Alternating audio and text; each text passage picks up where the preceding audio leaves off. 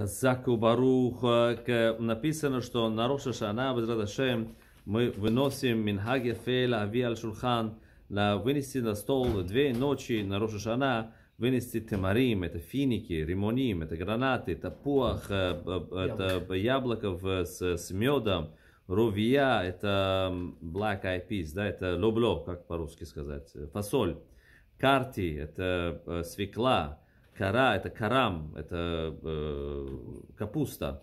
Венахон, конечно же, мы благословляем. Это сразу же после кидуша, после того, как мы сказали кидуш, мы благословляем.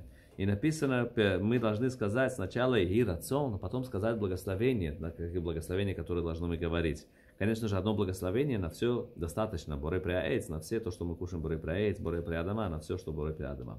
И написано, если Агим Лехол есть минха, кушать тоже рыбу на Рошашана. Почему? Потому что рыба, она плодится и размножается. Это тоже against Айнара, Радашем, Зьотшевим, Веежну Агим Кишуим. И написано, мы тоже кушаем кишуим. Это что? Это, это, это разные косточки, да?